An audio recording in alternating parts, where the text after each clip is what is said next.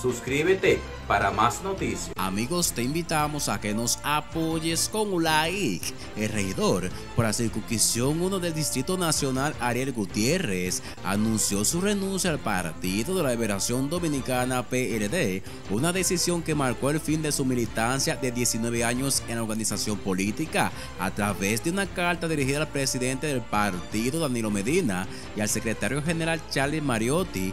Gutiérrez expresó su salida no significa un rompimiento total, sino una pausa para seguir su camino por otros senderos, con el corazón lleno de emociones encontradas. Hoy me dirijo a ustedes para anunciar mi renuncia formal al PLD, esta decisión que me he meditado profundamente, me pesa y me duele, señaló Gutiérrez, quien ocupó los cargos de miembro del Comité Central, secretario de Organización de la Circunscripción 1 y subsecretario de Asuntos Jurídicos del PLD. Gracias amigos por seguir esta noticia recuerda suscribirte, comparte este video.